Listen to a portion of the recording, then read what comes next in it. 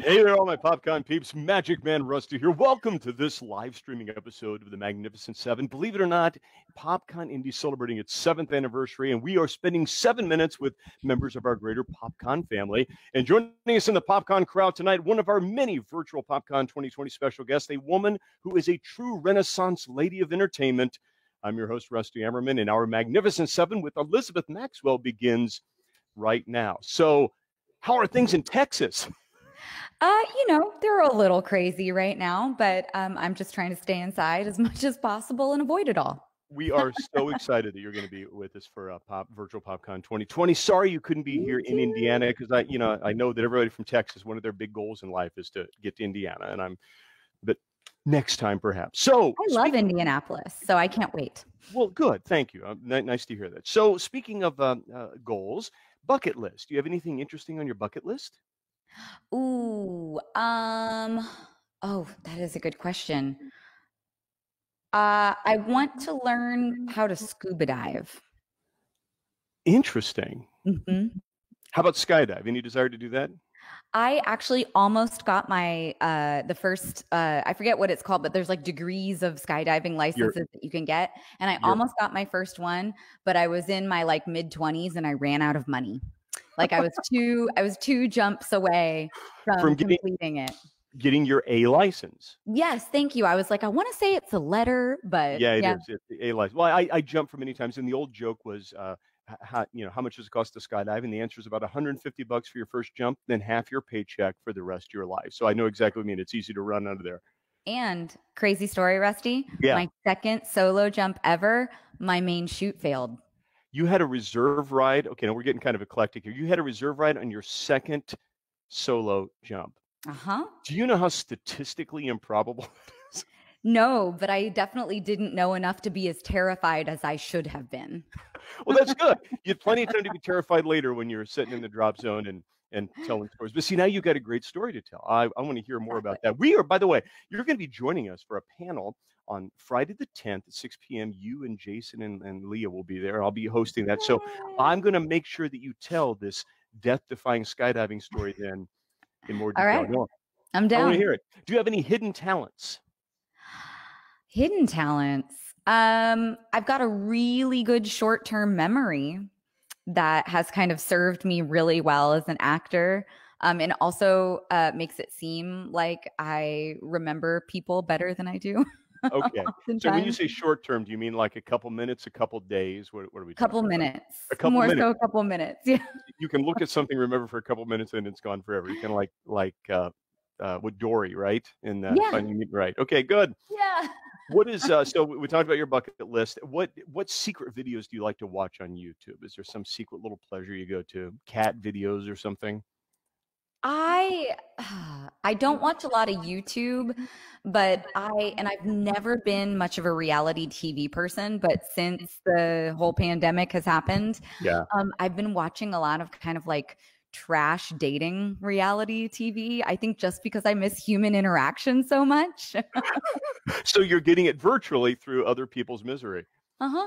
So what is okay? So that opens up some questions. What is the worst first date ever? That I've had? Yeah. Oh boy. Um, I he was a very sweet boy. but I uh-huh. went out on a date with um, an actor that I met on set in LA. Very good looking, very sweet. Turns out really thrifty. Um, we went out to dinner and he basically insisted on paying for dinner, but Mhm. wouldn't let me buy a drink, like a glass of wine or anything like that, and insisted that we share an entree. insisted. Uh huh. Because he felt like the portions in restaurants were too large and it just made fiscal sense for us to get one entree and share it. Okay. Was he counting dollars or counting calories? Dollars. Okay. Okay. All right. I would have almost understood the calories more in LA. Right. Right. That's Um, what I was thinking. Yeah. Oh, that's weird. Okay. So have you ever been on a blind date? Fifteen percent, and that was kind of like the clincher. so that was it. You were done then. Mhm. So have you ever been on a blind date? You ever made that mistake? I mean, ever had that joy?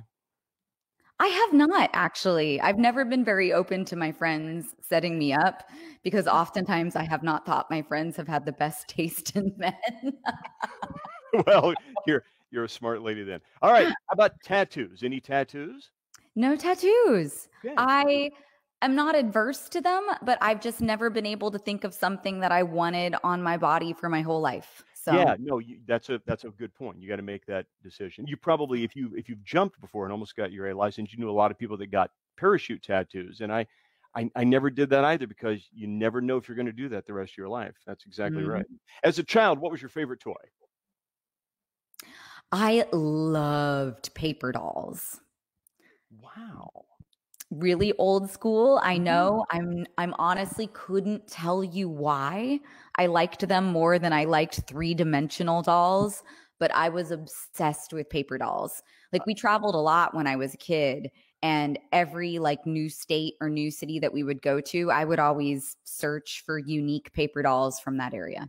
Amazing. Yes, that is kind of old school, but but very quaint in its in simplicity. All right. So you're a My poor mom usually had to cut them out though. Oh, she did. Yeah. Well, they the adults have steady hands. What kind of kickboxing do you do? I read you're a kickboxer. What style? Is it taekwondo? Is it? You know, honestly, I'm I'm not sure if they've ever specified. Um, I take well, I was taking kickboxing at an MMA gym. Um, and so they never really got specific with whether it was a certain style. We would we hold the Thai, um, the the Thai. God, I my brain Friday. Uh, the big Thai blocks. Um, Yeah. Yeah. Right. Sure. hold with those so we we actually like do contact kicking instead of kicking into a um a, a punching bag have that. which, Yeah. which i prefer because i feel like you get a really good workout when you're holding as well as when you're That's right. actually um kicking and attacking but yeah they just always say kickboxing they've never said whether it's derivative of a certain style And uh, also, I hear that you're a huge John Carpenter fan. What is if you, what you go? What's your go-to quintessential John Carpenter movie? big trouble in little china Oh, Kurt That's great. And that's not that's not typical John Carpenter either. Good for you. I thought you were going to say The Thing or The Fog. No. Well, good. Which And i what is- love what is it about Carpenter's style that you uh, think is unique? I I always just appreci- appreciated the type of tension that he builds and um eh, the actors that he selects. I mean, I just I'm a huge Kurt Russell fan. Um and I've always enjoyed the the humor that gets brought into his movies too because I think genre films kind of have to know um either to take themselves dead seriously, which often doesn't work super well. Um, I like it better when they tend to poke a little, like add a little fun into the mix and, Sure. you know, kind of Sure. take some Well, of the You, you hot get air that out of themselves. tension, a little release. Tension, a little Mhm. release. You're exactly right. All right. So to kind of refresh, well, you're just such a delightful guest. You are Oh, going to be doing a panel. I'm going to be hosting it with uh, Jason, Leah, and you. That's going to be at 6 p.m. on Friday the 10th, and then immediately after, you have a meet and greet, virtual meet and greet. Fans can spend about three minutes virtually with you from uh, seven to nine. And if the fans want to do this, and why wouldn't they? They need to run because your dance card is getting full.